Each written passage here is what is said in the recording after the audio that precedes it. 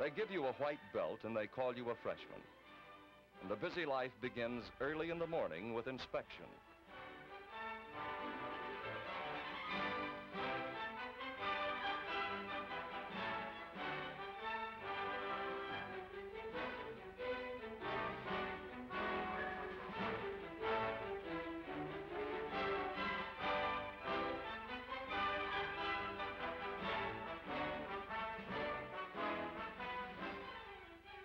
After inspection, they march you off to the mess hall to fortify yourself with some breakfast.